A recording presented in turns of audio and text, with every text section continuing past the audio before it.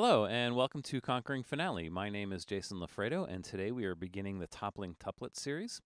Uh, now, FYI, if you're looking for information about how to enter tuplets in either simple or speedy entry, I did cover that in some of the videos in the simple and speedy entry categories, so go have a look at those videos. I believe it's 8-1 and 9-1 and 9-3 and uh, I'll see if I if I can add some jump links in the toppling tuplets uh, page of the website to actually take you directly to the portions of those videos that covers tuplets.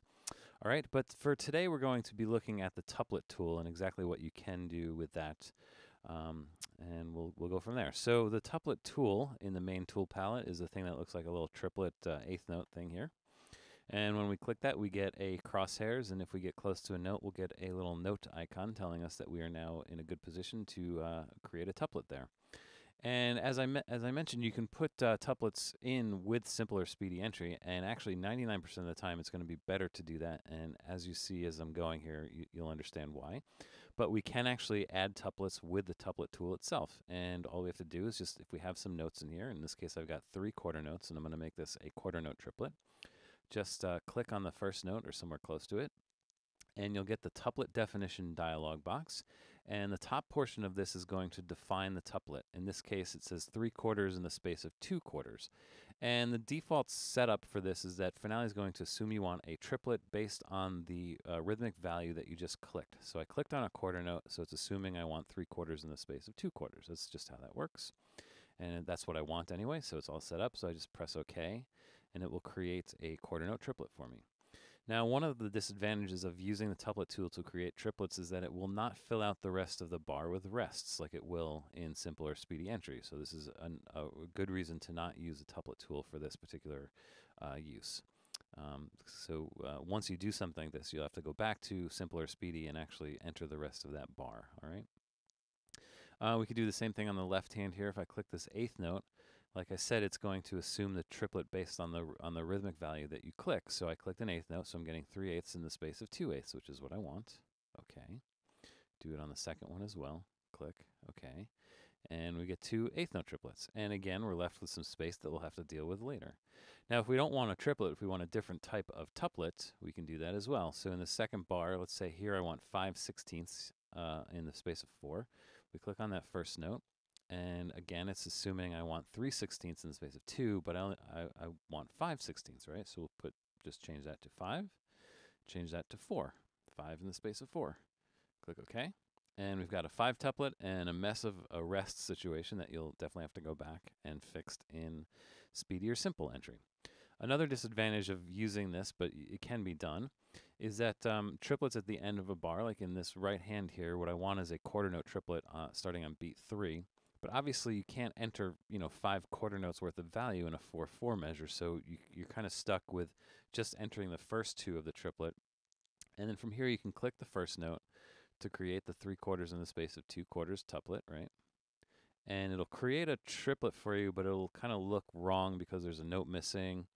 Um, again, you'll have to go back to one of your other tools and enter that, that third note in that case. So again, it's not the most efficient way to do it, but it is a possible way to do it.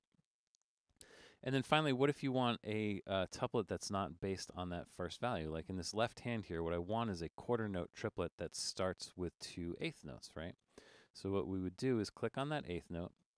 And again, it's assuming I want a triplet based on eighth notes in the tuplet definition, right? But actually what I want is a is three quarter notes, we can just change the, the rhythmic value in the pull down menus here. So three quarter notes in the space of two quarter notes.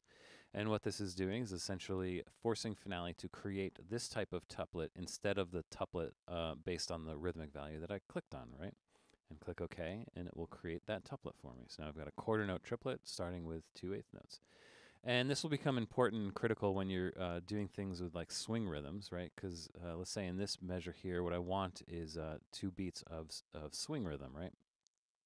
And again, if I click on the quarter note, it's going to assume I want a quarter note triplet, which is not correct. I want to, actually want an eighth note triplet, triplet, right? Just happens to start with a quarter note. So again, redefine the uh, the values here as eighth notes, so we're putting 3 eighths in the space of 2, and despite the fact that the first one's a quarter note, it's going to create an eighth note triplet like that. All right, and do the same thing with the second one, eighths instead of quarters. and we've got our swing rhythms. And of course, we've got extra notes to uh, that we're going to have to add later. All right. So again, it is possible to create uh, tuplets with the tuplet tool. Uh, again, it's not the most efficient way to do it. Again, speedy or simple entry is going to be a much faster and more sensical way of doing that. But it is available there for you to do. Uh, now, the main thing I wanted to show you in this video is, is how to manipulate your tuplets because this is actually going to be uh, fairly important as you um, as you as you go with your uh, entering music and dealing with tuplets. And there's a few different uh, things that I think is important to know. The first is the position, and by position I mean or the placement. And the, by placement I mean like whether it's above or below. And the default placement of a tuplet is going to be uh, stem slash beam side which means that Finale is going to put the tuplet um, where the stems or the beams are going. So as you can see in this second tuplet, all these uh, stems are facing up and the, the tuplet is up. Now, if you have mixed stems like I do in the first one, it's going to uh, place the tuplet based on the majority of where the stems are. In this case, I have two stems going up and one stem going down, so the tuplet goes up, right? If you happen to have a situation like I have with these uh, sextuplets over here, where there's an even number of up and down stems, um, finale will consider the first note um, and put the put the tuplet in that direction. So in the, in the first bar here, you see the first note, the stem is going down, so it's putting its stem side, in other words, down. In the second bar, even though there's an equal number, the stem is going up, so the tuplet goes above, right? Same thing with these uh, uh, sextuplet eighth notes here, right? The beams you know, the beam is upwards in the second one and downwards in this first one. So that's the direction that the that the uh, the tuplet's going. All right. So that's like I said, the the default uh, situation is stem slash beam side for triplets, but or tuplets, but we can um, change that, and there's a few options. Now, if we go into the tuplet tool and click the first note of any tuplet, we will get a, a, a few handles here, and there's a big handle, a big square handle, and that's what I'm going to uh, deal with first, and I'll show the other ones in a little bit. Um, when you click that square handle, you can actually right click it to pull up a contextual menu.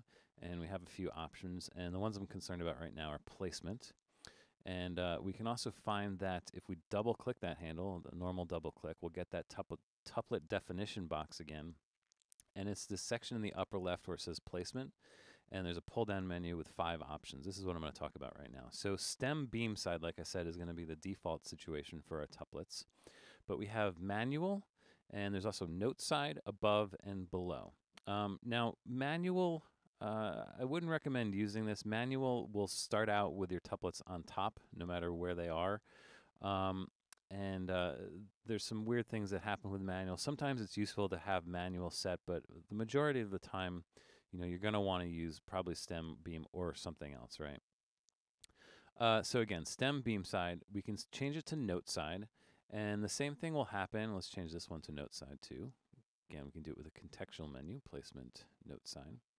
And again, it will it will place the, the tuplet on the note side. And again, if there's a, a mixed situation, it will place it on the majority. So the majority of the, the notes are below, are on the bottom, so it places the tuplet on the bottom, just in the same way as if it were stem beam side, right?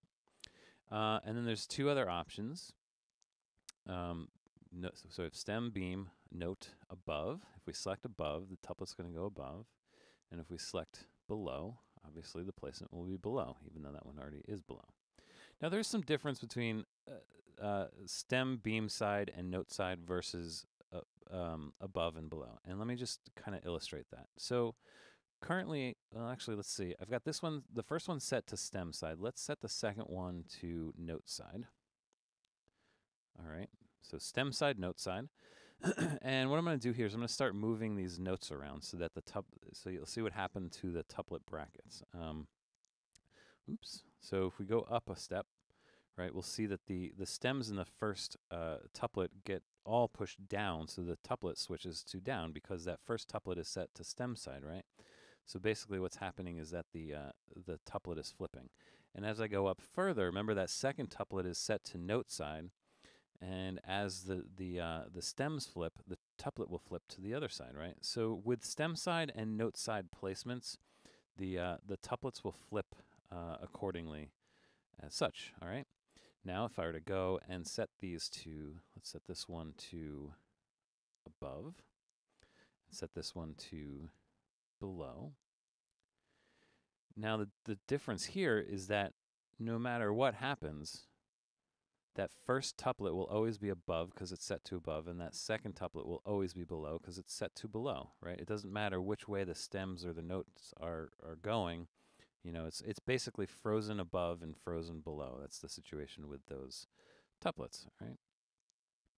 Let's just reset those back to stem beam, back to stem beam. All right. Um, and another thing, uh, another interesting thing you can do um, is we can actually use the F key to flip the the uh, tuplet. So if for whatever reason we wanted this tuplet to go above in this situation, just press the F and it will flip to above. Press the F again, it will flip to below. Same thing here and below. Now the interesting thing to know about this is that currently this tuplet I have selected here is set to stem beam side, right? If I press F, it will set it to uh, note side. If I press F again, it goes back to stem beam side, right? So F will only basically toggle between stem beam and note side. However, if you were to select above, right? So now this tuplet's set to above and press F, it will toggle between above and below, right? So there's actually sort of two different categories of flipping ability here. There's stem, beam side, and note side. So if you press F with either one of these, it will toggle between these two and above and note. If you have above selected, F will toggle between above and below. All right, just sort of an interesting thing to know about that. All right. The other thing which I think is important to know about these tuplets is how to manipulate the brackets. And uh, so I wanted to do that in this first video because I think it is important, and I'll, I'll tell you why in a, in a, couple minutes. Now, when you click on a note to get this uh, these handles, what you have here is a main square handle, and this square handle will actually allow you to just move the entire tuplet up and down. Now, what you can't do is you cannot move it left and right. Now, this is because there's a setting for tuplets uh, the default setting is that you uh, are not allowed to uh, drag horizontally. We can actually um, undo that so that we could drag horizontally, but I think more often than not, it's better to uh, suppress the the tuplet from going left or right because it will, um, you know, it will it will keep the tuplet lined up appropriately. All right. Let me just zoom in here a little bit. Now, um, aside from the main square handle, there are five other smaller diamond rectangles that are on this um, uh, on this bracket. And they're a little bit hard to see, but uh, they're there. The, the first one is right above the square handle, and this this one will actually just move the the the number in relation to the bracket. Okay, and there's a diamond handle on the end of each hook here, and it doesn't matter which one you use that will drag up and down. It will extend or decrease the length of that hook, right? So you can extend it to a, a really large hook or decrease it. And you actually flip it on the other side, or for whatever reason you would need to do something like that. And one thing you'll notice is that the, the hooks will move together, the left and right hook, and it doesn't matter which hook you drag, they will both move together. And this is another setting in the default tuplet definition where the hooks are set to match length we can override that so that they're not set. And then when it's overridden, the, the hooks um, can be set to different lengths if you need to. And I will show you that in another video at some point. but for now, just be aware that they will match length, which is handy. And then there's two more small diamond handles uh, just inside the hooks on the left and right. And both of those handles will do different things. The one on the left here uh, will actually move the entire bracket up and down um, and the number will remain the same and the bracket will move, right? And again, with all of these uh, handles, you can never move left and right, right? It's just up and down that we're dealing with, all right? And then the, uh, the second handle on the inside of the right hook will actually change the slope. And you can move it up and down and sort of, you know, you can see how it kind of seesaws around the number there, all right? All right, so that's what those, uh, those five handles will do. And incidentally, you will only have those five handles if you're uh, selecting a triplet that has a bracket like this one does. If I were to go over here and select this triplet, which doesn't have a bracket, uh, you can see that I only have one handle. I don't have those other handles, and obviously that's there's you know there's no reason to have those other handles without the bracket there, right? So that's how that works. Um, the, the main reason I wanted to show you this in this video is that you know, the one thing about tuplets and finale is that they are pretty dumb. they will not move out of the way of anything. In fact, if I put a slur here on this situation of notes here, you'll see that the uh, the tuplet is overlapping the slur, and there's you know you're going to have to move the tuplet. So use those uh, handles that I show you. You can move it up a little bit, and then maybe we can change the angle a little bit. Maybe it's got to go up a little more, right? Um, so again, it's you, you're gonna if you're dealing with a lot of tuplets, you're gonna run into this all the time, where you're gonna be conflicting with uh, articulations, with slurs, with uh, expressions. Uh, so you're gonna have to be able to know how to do all, all that stuff. All right, and then finally, um, the last thing I'm to show you is that if you end up making some adjustments to your tuplets and you know you've got them all over the place and whatever happened um, there is a way to reset it back to the default. Actually there's a couple ways. And the first is to just select that uh, that handle actually and then uh, right click it and you'll get this contextual menu again and there's an option here for reset. And you hit reset and it will reset it back to the default. We can undo that and we can actually get to that same contextual menu from the um, uh, selection tool. Just click on it and reset and then finally, if we're in the tuplet tool and we have that uh, main handle selected, if you have a number pad, you can hit the clear key. Oops. I should actually do that when there's something to reset. Hit the clear key and it will also reset it. And uh, just so you know, what it's resetting to is the, basically the, the default uh, tuplet definition as defined by what's in the document options, by the way. All right. All right, so uh, I, hopefully this helps. Uh, I gave you a lot of information about what you can do with your tuplets with the tuplet tool, and um, I'll, I'll, do some more videos on tuplets coming up and uh, teach you some other things that you can do with that. So uh, thanks for watching, and come back soon.